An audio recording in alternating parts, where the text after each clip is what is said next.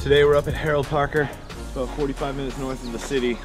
One of the best places to ride in Massachusetts by far. Super technical. If you want to test your skills, it's definitely a spot to go. Let's go have some fun. You!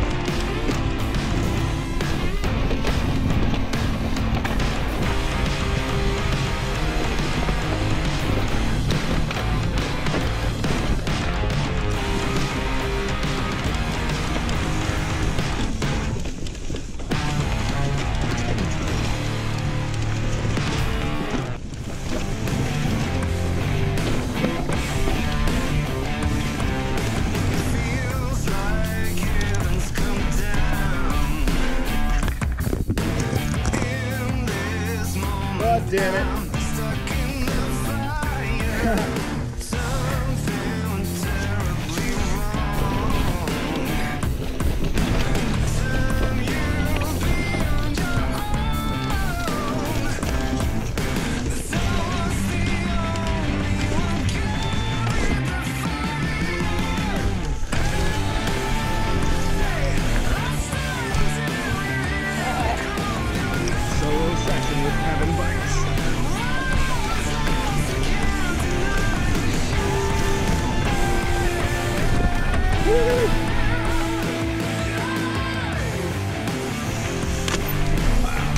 That's Harold Parker.